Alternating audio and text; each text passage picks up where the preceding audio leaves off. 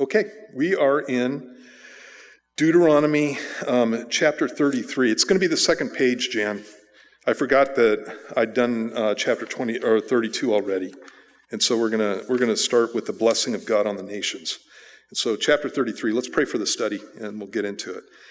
Um, Father, we come before you, and, and, again, Lord, we thank you for your word. Thank you for the fact that you teach us and that, that you speak through it. And Lord, we want you to speak through it here this evening, too. Um, Lord, we thank you that you're a God who hears us. And you don't only, only hear us, but you, you speak to us and, and you work in us, Lord. And so um, you said that where two or three are gathered in your midst or in your name, that you'd be there in the midst. And that's what we want, Lord. We want you walking up and down in the midst of the church. So work in us this morning or this evening and uh, just bless the time. And we ask that you do this in the name of Jesus. Amen. Okay, we're going to finish up Deuteronomy, and this actually may be a pretty short study because there's not a lot in these passages. Um, but in chapter 32, uh, basically, uh, you have uh, Moses uh, giving out the history again of the people of Israel. Um, it's the Song of Moses in that in that passage, and he talks about the fact that they're going to uh, go into the promised land. They're going to get everything that God told them that they were going to get, but then they were going to be unfaithful to the Lord, and that God was going to chastise them. Um, he lets them know at the end of the chapter that uh, the hammer that he hammers them with is going to get hammered. you know, and so God's going to use other nations to uh, deal with Israel. Um, when they're in rebellion against him. Uh, but one of the things that you see, um, we were just talking about Jeremiah um, in sharing. And one of the things that you see with the nations that came in and uh, uh, took over Israel uh, was they just did it with relish. They just went after the Jews. And um, that God uh, made it clear um, before the fact that because of their attitude and their arrogance, uh, that they were going to end up being judged, even though they were used as a tool for judgment. Okay? And so Moses just basically goes through and lines out what their history is going to be. And um, on the face of it, it's not a good thing. I mean, standing there listening to him, you're about to go into the promised land. They're on the verge of the promised land. They're on the other side, on the other side of the Jordan River, about to go into, into Canaan. And um, they're getting this whole picture of what their history is going to end up like. And it's not looking good. And um, I think that um, that is telling in the sense that God doesn't deal with us necessarily in the way that the books say that we should be dealt with. I think that a lot of times people think that if you come up to somebody with bad news, and especially bad news about where your life's going to go if you keep going this direction, that it's too harsh and too hard and it won't help and um, it's just going to depress people and that kind of thing and, and what we want is people to just uplift us and say oh, you know only nice things say only nice things about me say only good things about me. And there are times when um, god's speaking through moses or god's speaking through one of the other prophets he just doesn't do that. He just tells people what's up. And the reason is because he cares about them and you know there are times when when you need to have um, your bell rung. You need to have your bell rung um, when I played football, my first year, um, I started playing football, football in my sophomore year, and um, I didn't know I didn't know how to play the game, and I wasn't very good at it, and so I didn't start. And uh, where they put me at was wide receiver, and I was fast, um, if you can imagine that. I, I was fast, but I had hands of brick. You know, when I would catch a ball, it would just, I wouldn't catch the ball. It would just bounce off my hands. So it was a lousy position to put me in. And so consequently, I didn't play very much. There was this one time when I'm coming back from a game, and there were some guys on the team that, that would hassle me at times. And I was coming back from a, a game sitting in the bus, and one of the guys said something to me. and I can't remember what it was, but I just went off on him just told him to shut his face and yelled at him and you know that that kind of thing. Not not a huge big thing. I didn't hit him or anything, but and, you know it, it was clear. The, the whole bus got quiet when I when I did this whole thing. My coach stands up at the front of the bus and he goes, "Whinery, uh, I want to see you on Monday for extracurricular activities." And so it was me and this one other guy.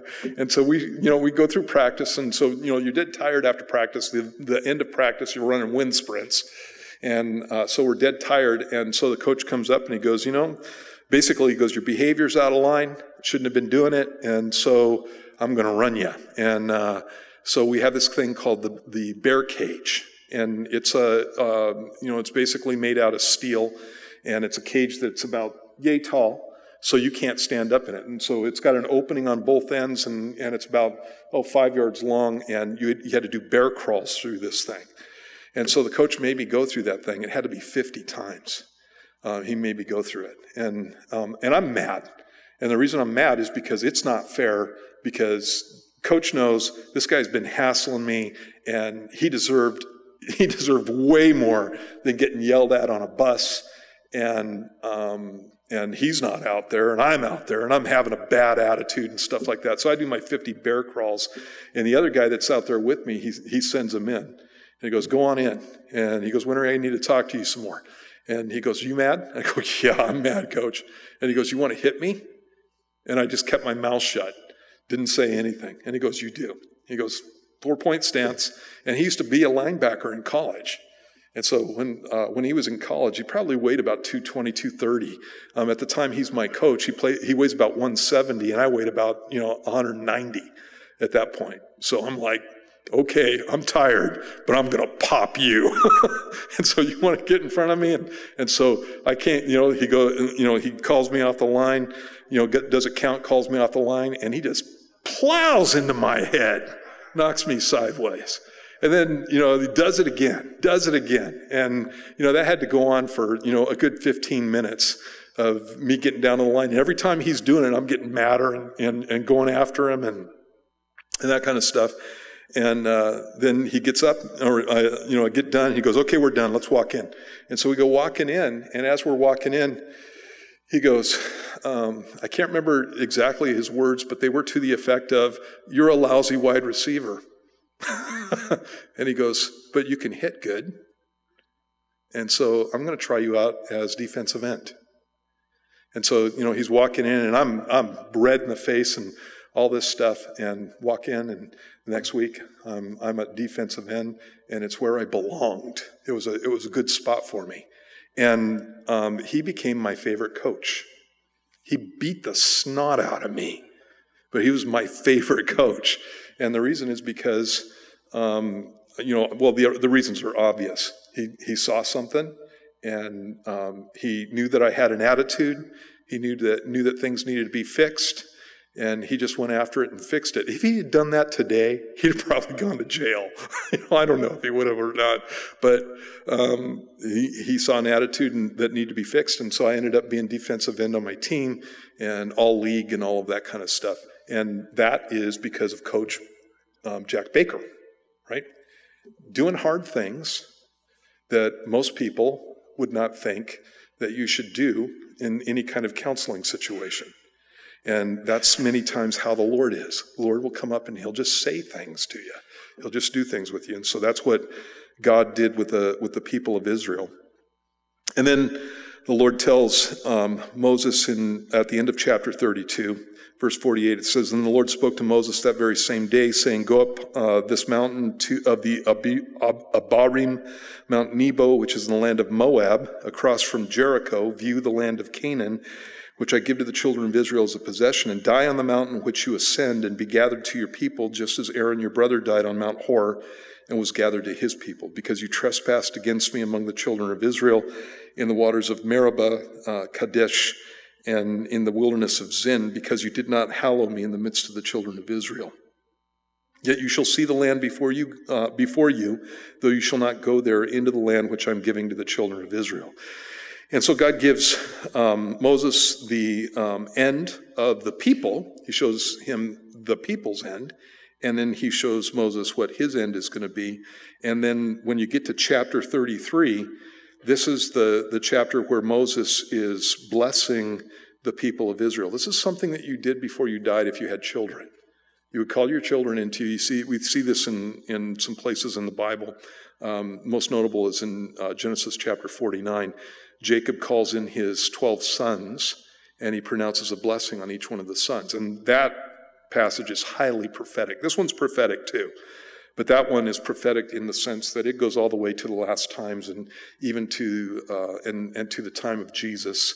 There are um, some passages in there that speak about uh, the ministry of Christ um, all the way back in the book of Genesis um, when God's talking to uh, the tribe of Judah. You have some of the same things. It's a little bit more general when we go through here, but pronouncing a blessing on the son uh, before the father dies. And that's what Moses is doing. In the case of Jacob with his 12 sons, he literally has 12 guys standing in front of him. And he's talking about their future and the future of the tribes that are going to come from him.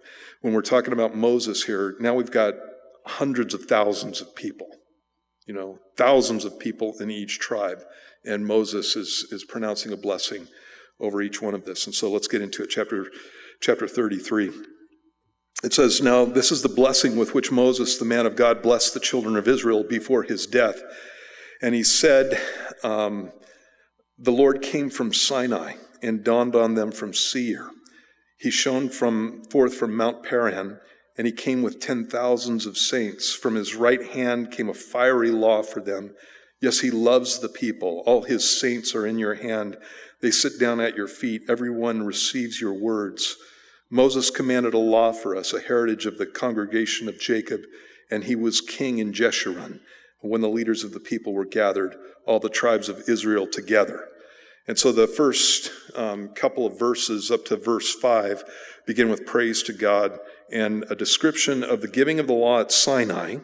And so you have this, this passage in verse 2 where it says, The Lord came from Sinai, dawned on them from Seir, and shone from uh, forth from Mount Paran, and he came with ten thousands of saints. Um, when Moses was given the law, the Bible talks about the fact that God descended on Mount um, uh, Sinai, and what the people saw was something that looked, you know, frankly volcanic. There's there's fire and there's thunder and there's lightning, and the people were frightened of the mountain. God, God talks about the fact that they were to not touch the mountain, that they were to be kept back um, lest they be killed. It was a frightening sight. And uh, it ended up in a situation where the people of Israel were like, We don't want to go near that place. Moses, you go up and talk to the Lord, and we'll stay here, and that kind of thing. And so he's describing that. It's not just that that he's describing, though, because when you, you see Mount Sinai in the first verse there, but it says he dawned on them from Seir and shone forth from Mount Paran. And although in, at the end of verse 2 he came with ten thousands of saints, from his right hand came a fiery law for them, that can be talking about Mount Sinai and probably a vision that Moses was given of uh, angels and even people who had passed on before Moses and were in the presence of the Lord. And in that case, you would have guys like Abraham and Isaac and, and Jacob and, and Noah and Adam and all of those guys.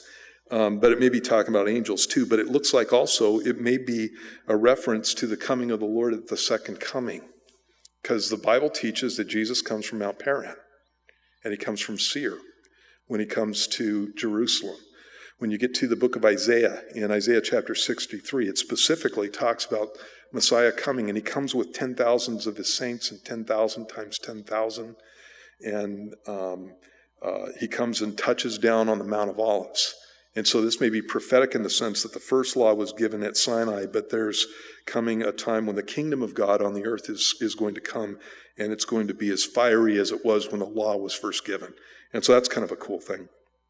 Jeshurun um, in the in the Bible is a is a term that's uh, descriptive of Israel. It's the name for Israel, and um, it's a, a, a, word that means abundance or fatness. It's the idea of Israel in, uh, in a situation where God is blessing them.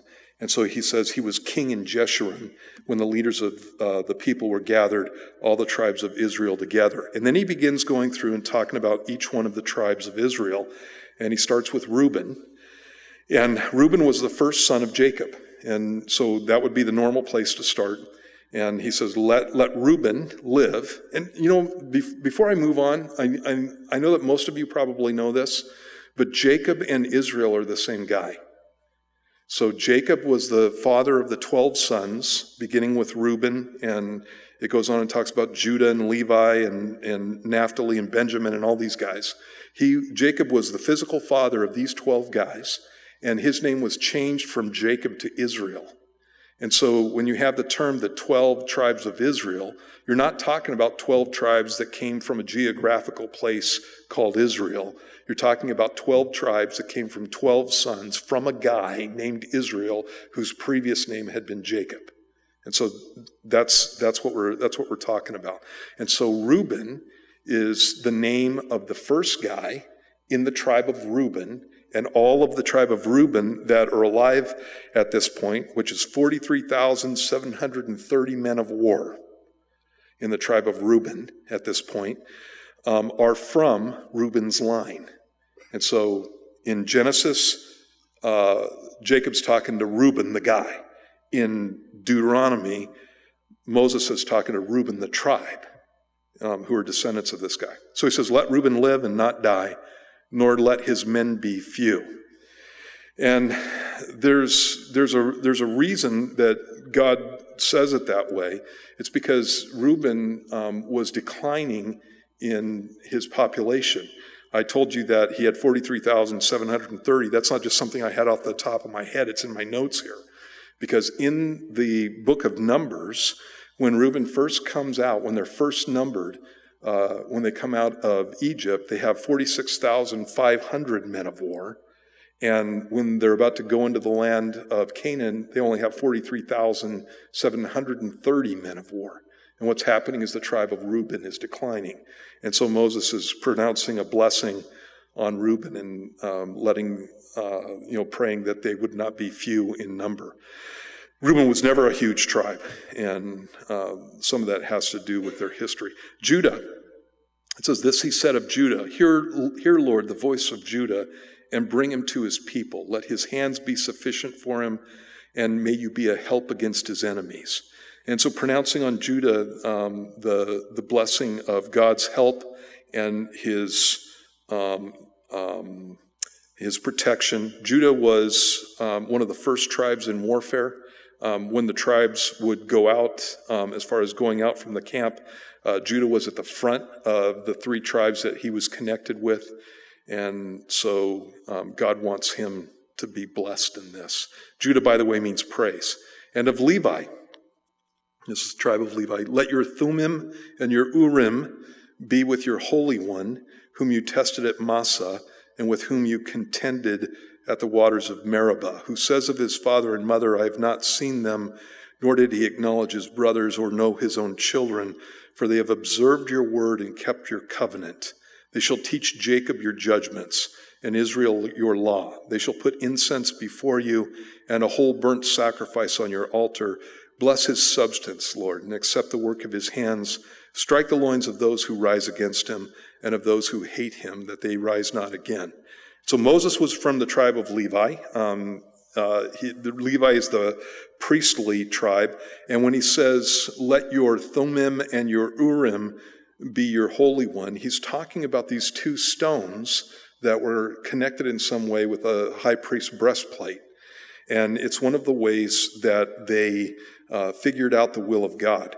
Um, the word Thummim means lights, and uh, Thummim and Urim mean lights and perfections, or perfections and lights. I, I put it backwards. Urim means lights. And um, we don't know how they determine the will of God from this. And so there have been there have been some commentators that have talked about maybe it was a white stone and a black stone, and what they did was they had a bag connected to the uh, high priest's um, garments, and they just would reach into the bag, and if they pulled out a white stone, then the answer to the question was yes. If they pulled out a black stone, for example, the answer to the question would be no. Um, and so maybe that's how they did it. The problem with that is when you see the Urim and the Thummim being used in the Bible, there's, there's detail in the direction. It's not yes and no questions. And so when you see passages like, uh, for example, with David, um, they bring the ephod and they question God with the ephod. Well, what the ephod is talking about, an ephod was a high priest's garments. And so included in that would be the, the breastplate and the Urim and the Thummim and everything that was that went along with that whole thing. And David would ask if he should go into battle, and the Lord would give him literally battle plans. And so there's got to be something more going on than just yes or no answers or, you know, throwing dice or, or that kind of thing. There's got to be something more going on. We just don't have enough information to know what it is.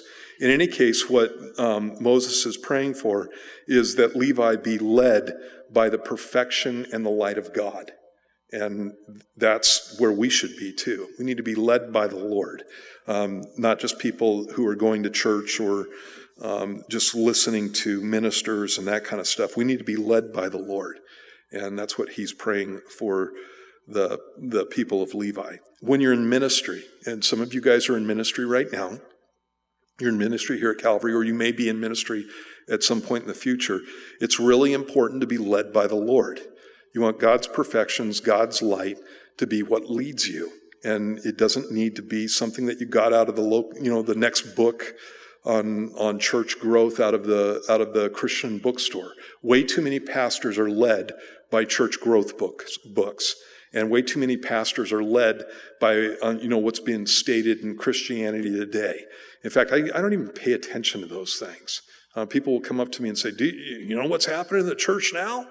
And they'll come up with some goofy thing that somebody's doing because we have Christian publications that go along and catalog all this nonsense. And you got people going to the left and people going to the right, and people doing all kinds of whacked out stuff and people doing things that just aren't wise. And the reason that they end up in these places is because they're not being led by the Lord. And that's what we need. We need to be led by the Lord. You pick your Bible up, you, you spend some time in it, you ask Jesus to speak to you through it. Nobody's changed in the thousands of years since the Bible was written. Everybody acts exactly the same way. It's shocking how little humanity has changed over time. And in fact, um, uh, with, with much of uh, what we get into, um, we don't even have the wisdom that they had in, you know, in the 1800s. Have you ever read a book from the 1800s?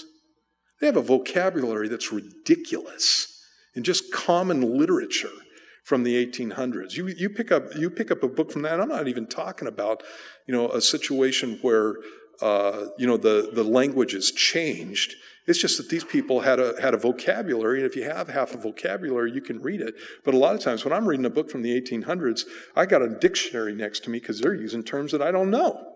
I've never even heard of them.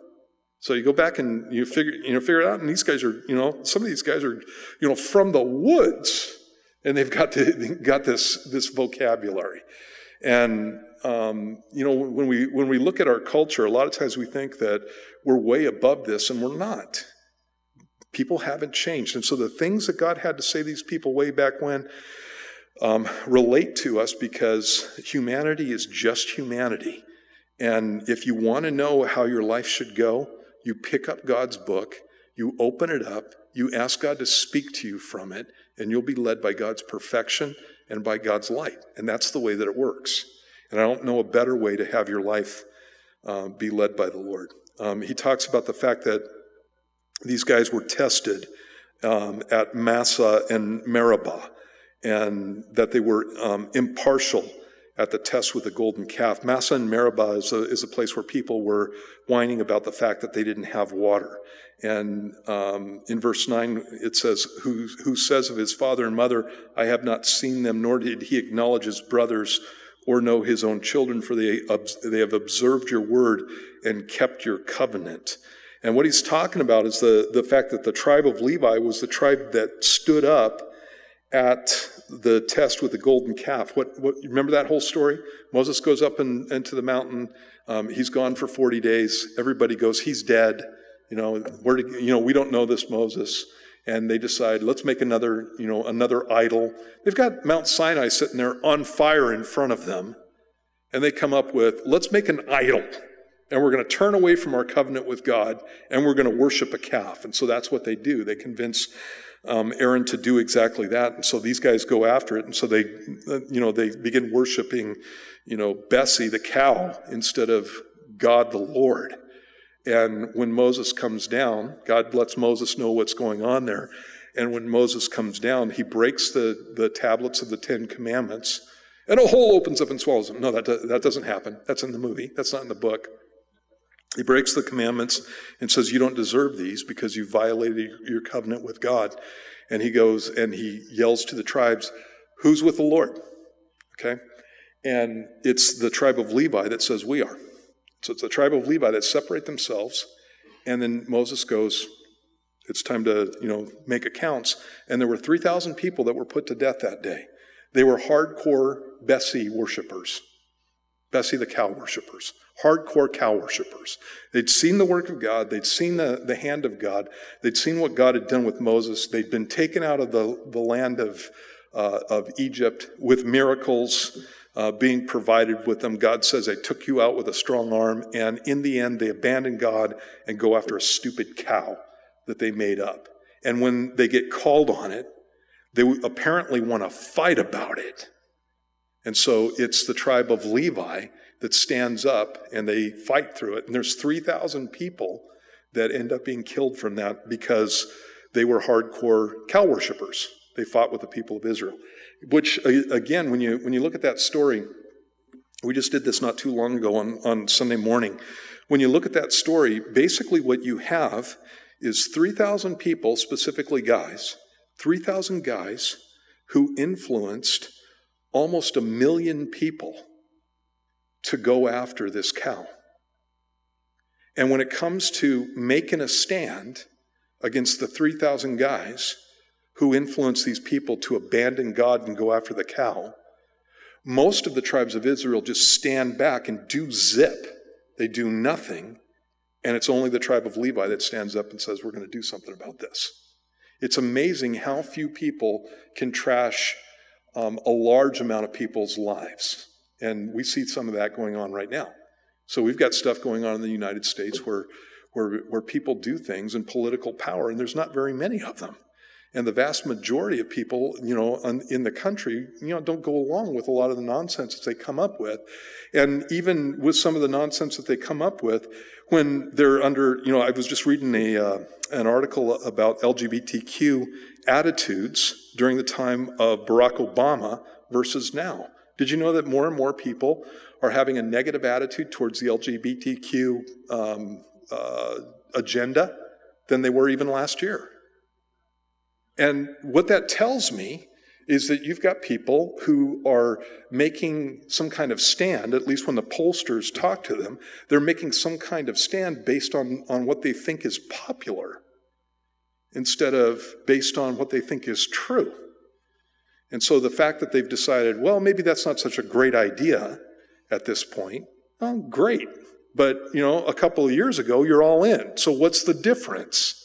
What's going on? And they, you know, came up with things like, well, maybe the LGBTQ thing is getting too rowdy and they're being too up in people's faces and, and that kind of stuff. And that may be the case, but you know what I think it really is? I think that people are swayed. I think that people can be swayed from very few people. And that when it comes up to standing up for what's right, most people will, you know, take a you know, take a back row and let somebody else do the hard work in a situation. And that's what happened with Israel. So you had hundreds of thousands of men who could have stood up against 3,000 guys because they all repented in the end. Hundreds of thousands of men who could have stood up against 3,000 guys, and the only group that ever did anything was the tribe of Levi.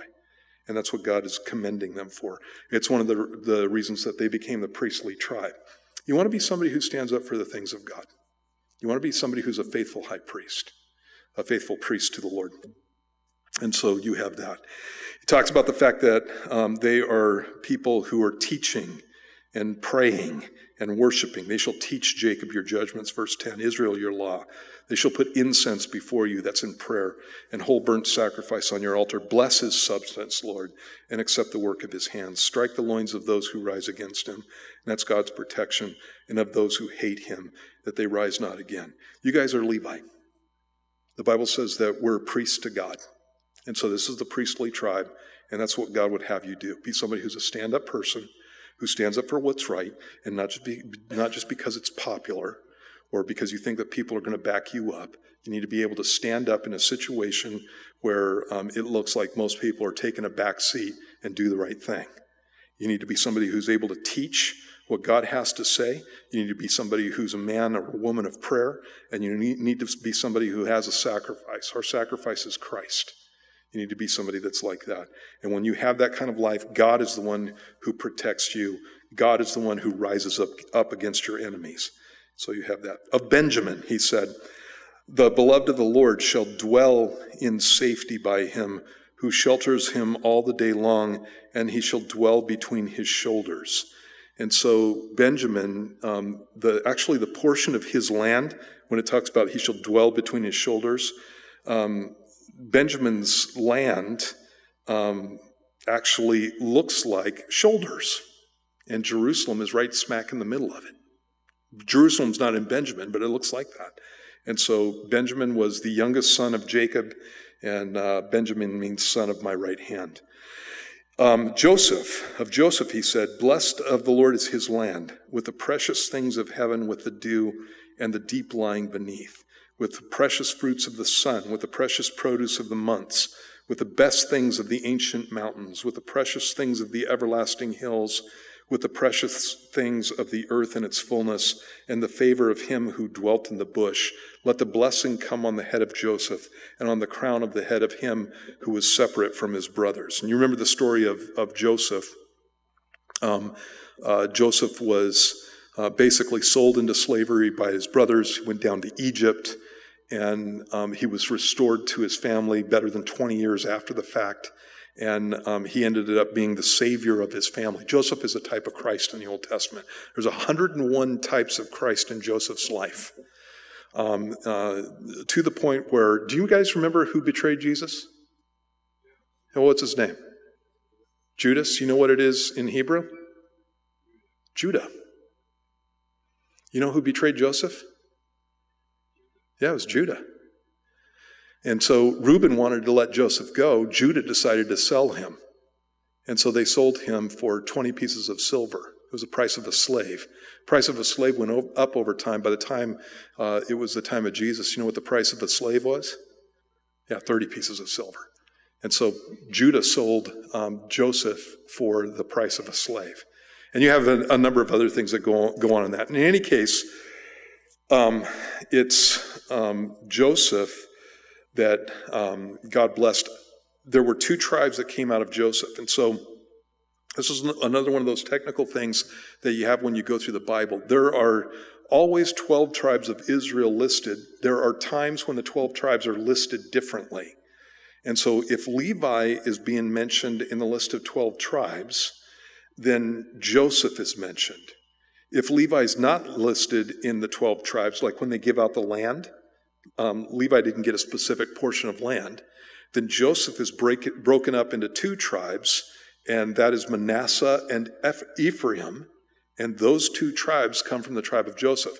Remember, Joseph had two sons, Manasseh and Ephraim. They were grandsons of Jacob. And when Jacob blessed them, he blessed the younger over the older, and there's this whole scene where Joseph's like, No, father, this one's the older. And he says, Yes, he is, but God's going to bless this guy more. And so I'm paraphrasing for you. In any case, Manasseh and Ephraim became full tribes. And the reason that that happened, and, and again, I, I, don't mean to get into the weeds here, but I'm going to. Um, when, when they would bless their sons, if you had four sons, you gave five portions. And so each one of your sons got one portion of whatever you were going to give them as their inheritance. The eldest son got another one. He got what was called the double portion. Okay?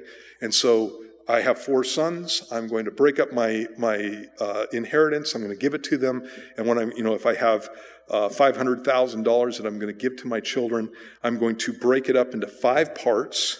I'm going to give 100,000 to each one of them and another 100,000 to my eldest son, and that's called the double portion. And that's what the people of Israel would do. When it comes to Jacob blessing his sons, his son Reuben should have gotten the double portion. But he didn't.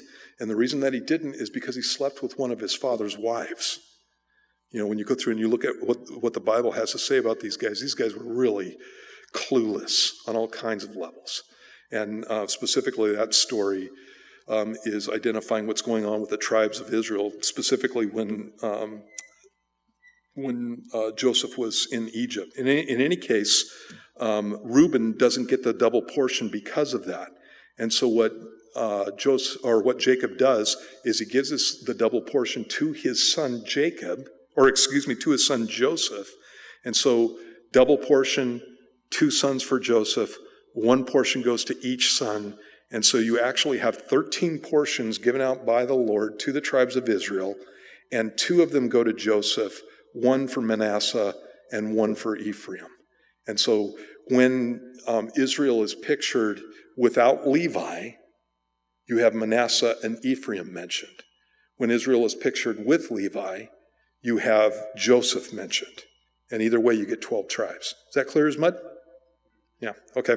So you're gonna you're gonna run into that, and so when when Joseph is being blessed here, it's both the tribes of Manasseh and Ephraim, and um, uh, Manasseh got portions on both sides of the Jordan River. Uh, before they went in, uh, there was a half tribe uh, that um, uh, took their portion on the on the other side of the Jordan River, and so the blessing that's been given to these guys are a blessing that covers huge portions of the land of Israel. In fact, Ephraim had uh, his portion in the land of Israel, and Ephraim became synonymous with the northern tribe of Israel.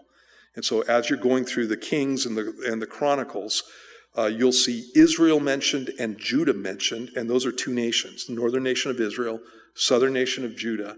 And when Israel is mentioned, they will um, use the name Ephraim as synonymous with Israel. And so it'll talk about Ephraim, it'll talk about Israel, back and forth like that. And people get confused by that. But the reason it's, it is that way is because Ephraim became the most blessed of the tribes, of the 10 tribes uh, that compose the northern kingdom of, of Israel. Is that clear as mud? Okay, so um, you have those things going on. So, agricultural blessing, timber, military blessing. God pours out his blessing on, on those guys. And then we have Zebulun and Issachar. And of Zebulun, he said, Rejoice, Zebulun, and you're going out, and Issachar in your tents. They shall call the peoples to the mountains.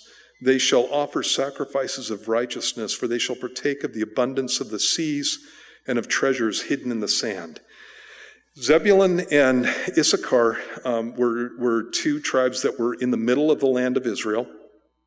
And um, one of the tribes bound, had boundaries up against the Sea of Galilee, and the other tribe was close to the Mediterranean, not right on the border of the Mediterranean or the coast of the Mediterranean, but very close. And so, what it's talking about is that because of the positioning of these tribes, they were going to get blessing from both the seas. So, the Mediterranean Sea and also the Sea of Galilee. Sea of Galilee is a, is a very pretty place, and there's a real agricultural blessing that goes on there. It talks about treasures hidden in the, in the sand. And this um, verse right here, and then in, let's see, what is the other one? In down in verse 24. So in verse 19 it says, They shall partake of the abundance of the seas and of treasures hidden in the sand. And in verse 24 it says, Asher is most blessed of sons. Let him be favored by his brothers. Let him dip his foot in oil. And because of those two verses, there was a guy back in the 80s who looked at those verses and, and thought, I wonder if God's talking about oil. I wonder if that's what he's talking about there. It's really interesting that every Middle East country um, around Israel has oil, and Israel, for decades and decades and decades, had none. Every time that they would drill, they wouldn't find anything. And so there was an American, he was a Texan actually, who decided to go and drill for oil in Israel. And he found out where the, where the land of Zebulun was and where the land of Issachar was. And he's looking for treasures hidden in the, sand. And he began boring for oil. And he never found it. Same thing with Asher. Asher's over on the coastline. And uh, he uh, drilled some wells looking for it. Never found it. And it doesn't mean that it's not going to be found. I mean, that, those verses may, be, may have a possibility of that. It's just deeper than, than he drilled if it's there. Um, he never found it, but they did find oil in Israel. Uh, but the oil that they found in Israel was on the other side of the Sea of Galilee, up in what they call Bashan in the, in the Bible. The Golan Heights is what we call it now. And so they found oil up there, and they've got enough oil to run the country for, for, for centuries. And um, it's just a matter of extracting it. They've also found uh, gas supplies. And one of the interesting things that's happened in the last, oh, 10 years or so is um, Israel has been, become, instead of an energy importer, an energy exporter. And uh, um, they're actually um, going to be pretty wealthy uh, because of, of what they found. In any case, just wanted to let you know that, that that was taking place.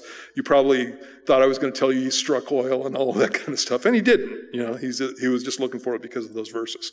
It says of Gad, He said, Blessed is he who enlarges God, our Gad. He dwells as a lion and tears the arm and the crown of his head. He provided the first part for himself because a lawgiver's portion was reserved there. He came with the heads of the people. He administered the justice of the Lord and his judgments with Israel. And so um, Gad was one of the tribes that was a warring tribe, and he was in the vanguard of Joshua's army. And uh, they ended up getting their portion first. Uh, because of their faithfulness in, uh, in battle. And so you can read about that in Joshua chapter 4 and Joshua chapter 22. Then he talks about Dan, and he says, Dan is a lion's whelp. He shall leap from Bashan. And Bashan, uh, again, is uh, what we would call the Golan Heights. And um, what's interesting is when Dan first got his portion, it was down in the south, it wasn't up in the north.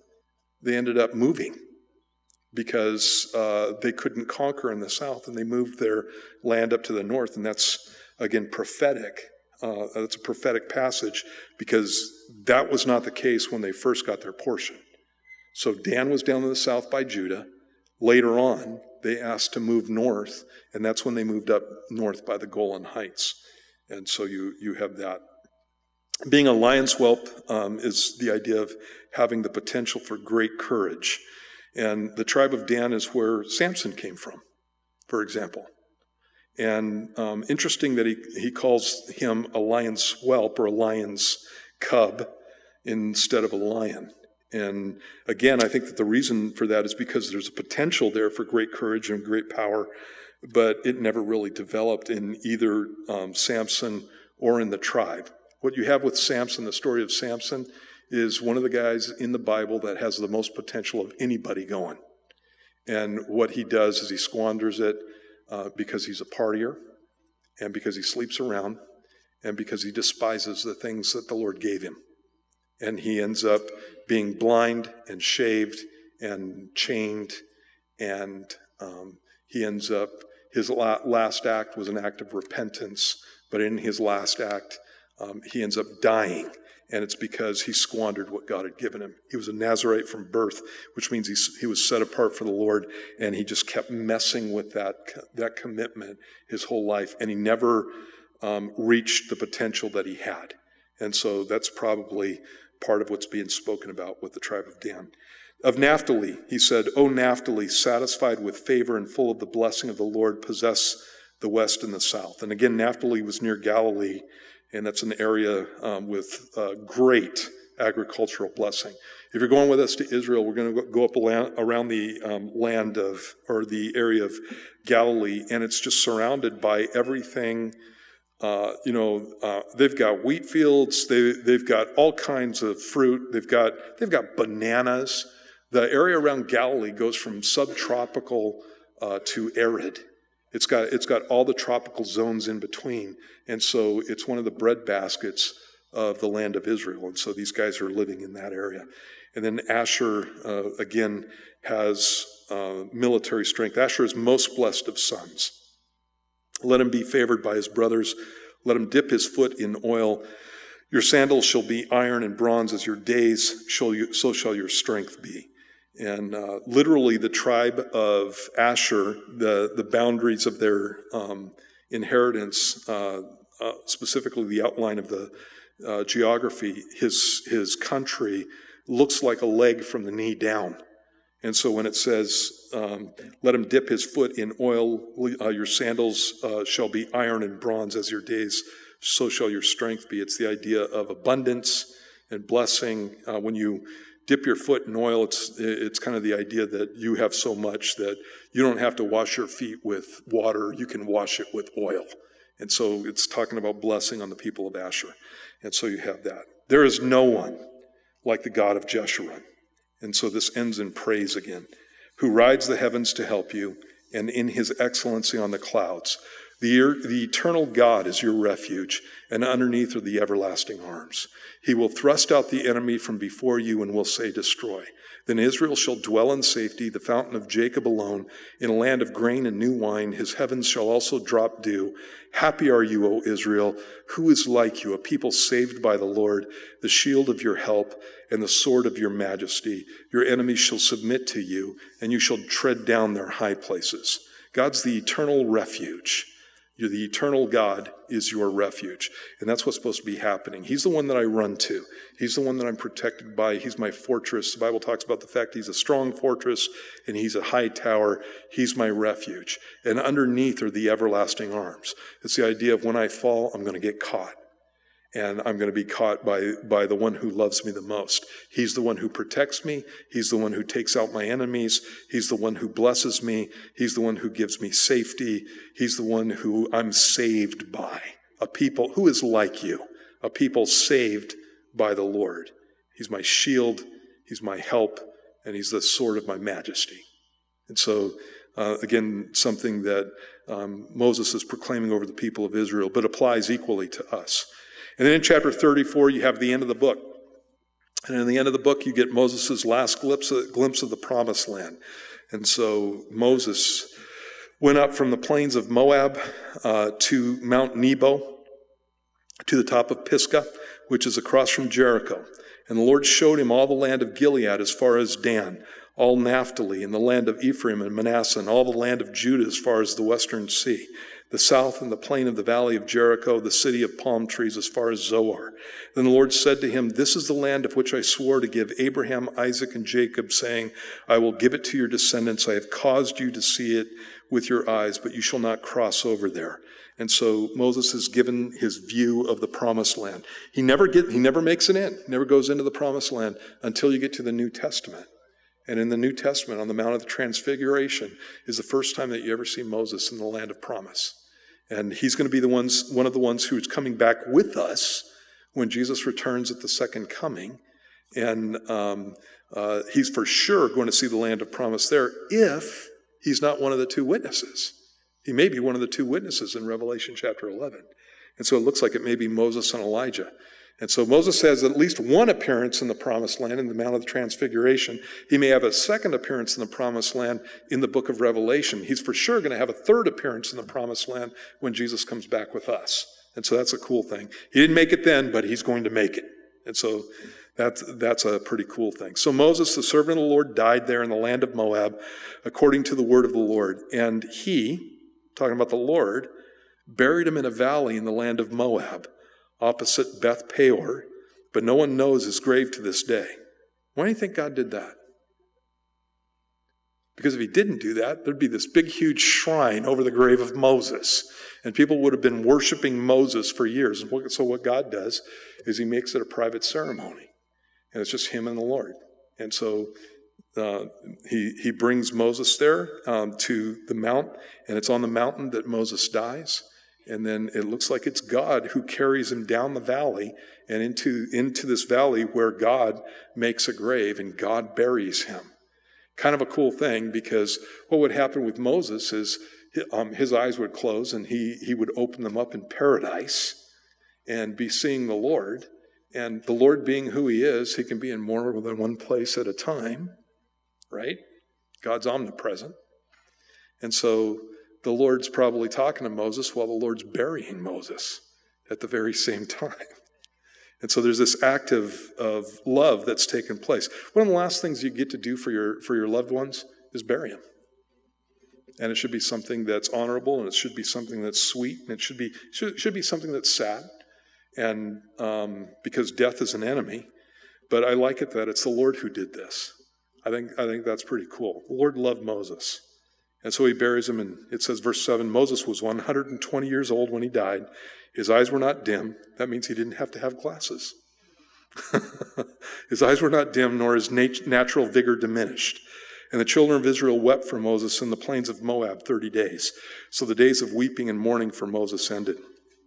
Now Joshua, the son of Nun, was full of the spirit of wisdom, for Moses had laid his hands on him. So the children of Israel heeded him and did as the Lord had commanded Moses. And so the baton is passed to Joshua now, and in the very next bush, book, Joshua is the one who leads the people of Israel. And then finally it says, But since then, there's not arisen in Israel a prophet like Moses, whom the Lord knew face to face. And that again is something that we want to go after. I want to, you know, when I spend time with the Lord, I want to be hearing from Him. When I spend time with the Lord, I want, I want to, I want to pray and I want to hear His voice. I want to I want to talk to him and I want it to be like a face-to-face type of communication. I don't want it to be anything less than that. And there's no reason that we should be satisfied with anything less than that.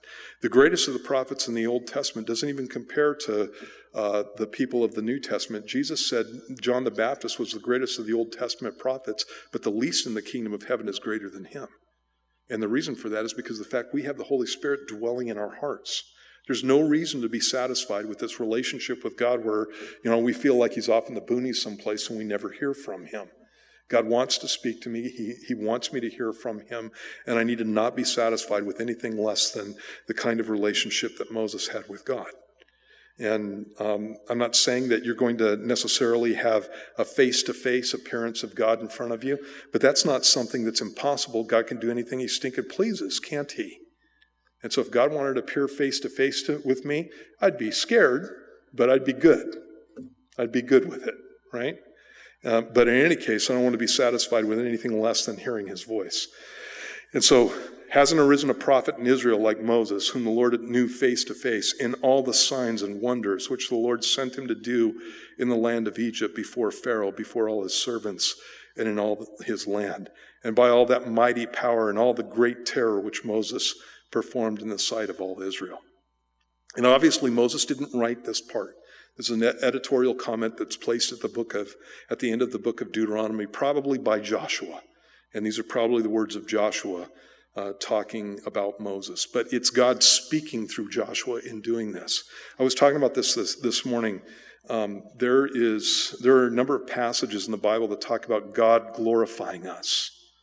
And most times when people think of, of, being glorified by God, they think of being made big, being made strong, being made shiny, being, you know, like glorified in heaven. You're like an angel. You're like, you know, you're like awesome and, and that kind of stuff. And um, I, I, started getting into Greek a few years back, uh, you know, quite a few years back. And one of the things that really struck me when um, I was reading my Bible in Greek is I come across this word glorify, and it doesn't mean that. The, the context can allow for that, but what the word actually means is to speak well of. That's what the word glorify means. And so every time you see glorify in your New Testament, Old Testament too, when you see glorify there, it means to speak well of, to say good things about. And that's what's happening right here. God is speaking well of Moses in this instance. Let me, let me show you a passage. This is out of the book of Romans, and this is in Romans 8 and you're probably familiar with it. let me let me get here. Um, in Romans chapter eight, it says. Um,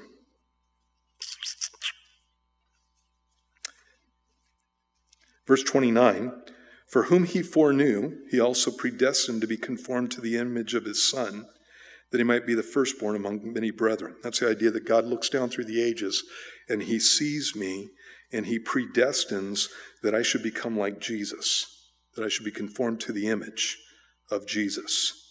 Moreover, verse 30, whom he predestined, these he also called. And what that's letting you know is that long before I became a Christian, God had a plan for my life, and then he called me. Okay? Whom he called, these he also justified. And after he called me and I received his call, what God did, past tense, was He justified me. He made me right with Him. And then it says, And whom He justified, these He also glorified. These He also glorified. And that again is in the past tense.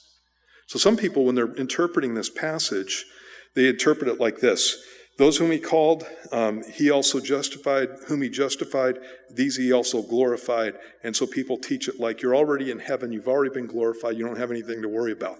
That is not what the passage is actually saying.